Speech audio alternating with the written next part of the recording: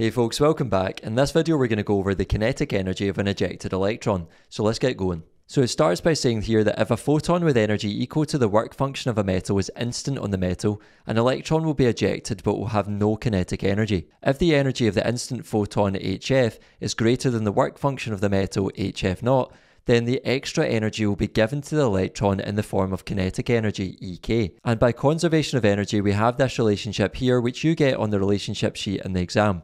So it says that EK is equal to HF minus HF naught. So this means that the maximum kinetic energy of an emitted photoelectron EK is equal to the energy of the incident photon, which is HF, minus the work function of the metal, which is HF naught. Or in other words, the difference between these two energies tells us the energy that the electrons have when they've been emitted from the metal surface. And this energy will be in the form of kinetic energy. So what do the symbols mean? Well, we say that EK is the kinetic energy of the ejected photoelectron measured in joules, H is Planck's constant measured in joule seconds, and remember that's on the data sheet in your exam. F is the frequency of the incident photon measured in hertz, and F naught is the threshold frequency measured in hertz. So for example, in a question, you might be given the work function of a metal and the frequency of the incident radiation, and in that case you could use Planck's constant from the datasheet, multiply it by the frequency you're given, and subtract the work function that you're given in the question in order to calculate the maximum kinetic energy of the emitted photoelectrons. The question might also ask you to calculate the maximum speed of the emitted photoelectrons, in which case you could use the kinetic energy that you've calculated from this equation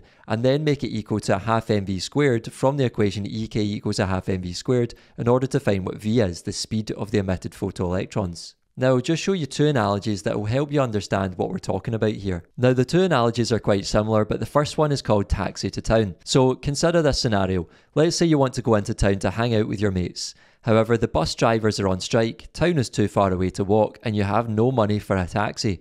A taxi to town costs £10.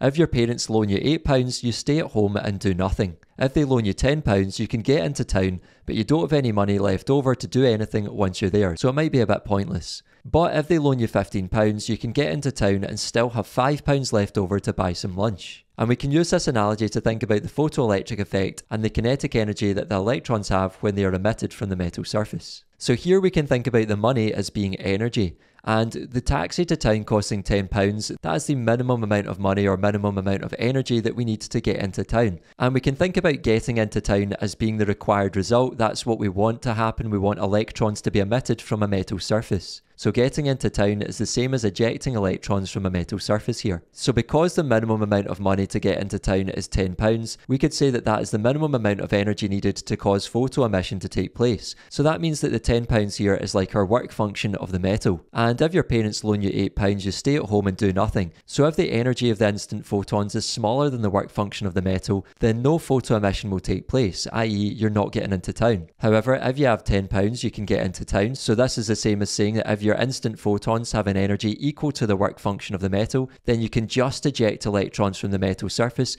but they're not going to move off with any speed. They'll just be emitted and no more.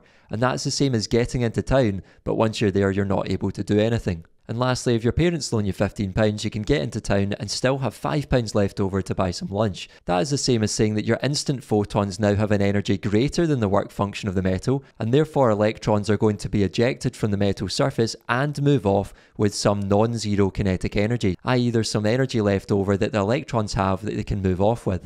So not only are the electrons going to be emitted from the surface, they're going to move off with some kinetic energy and speed. The second analogy is quite similar, and this is called the vending machine analogy. So let's say you want to buy a Mars bar from a vending machine.